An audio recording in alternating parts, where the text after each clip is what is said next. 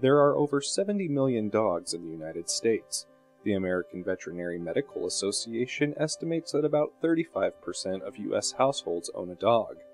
While most of these animals are friendly, dogs do occasionally attack humans. In fact, every year there are at least 800,000 reported dog bite cases which require medical attention.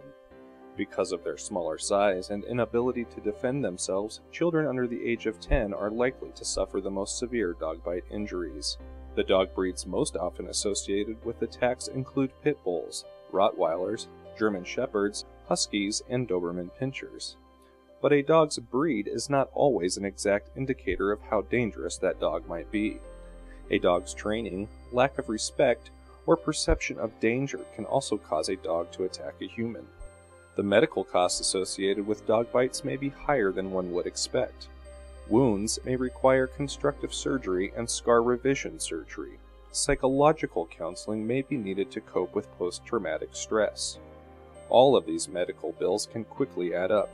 In most cases, dog owners have a legal responsibility to properly restrain their dogs. If you or a loved one have been involved in a dog attack, please contact our law firm today.